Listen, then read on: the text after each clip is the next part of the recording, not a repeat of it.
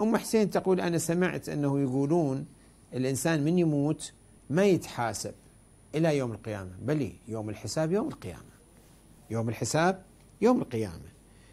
ويوم القيامة هو يوم شنو؟ يوم توضع الموازين توضع الكذا والناس يحاسبون. أما في البرزخ شنو؟ في البرزخ هاي الحالة البرزخية يعني من بعد أن يموت إلى يوم القيامة هاي هذه هذه الفترة فترة البرزخ. شنو اللي بها حسب الروايات أن الإنسان بحسب عمله. بحسب عمله. إن كان صالح فقبره روضة من رياض الجنة.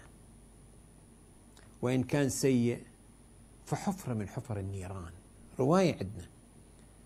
المؤمن أو الإنسان إذا مات إما قبره روضة من رياض الجنة أو حفرة من حفر النيران.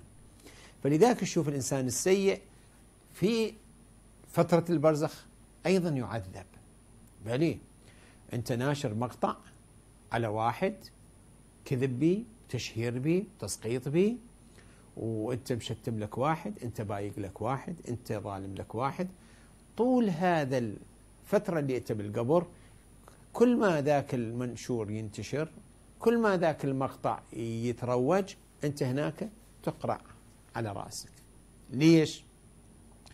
لأن ما ينشر من الكذب أنت سببه ما ينشر من الكذا أنت سببه ما يكون من الظلامة أنت سببه. فنسأل الله سبحانه وتعالى أن يصلح بالنا يصلح بالنا ولا يكون قبرنا قبر شنو؟ حفرة من حفر النيران.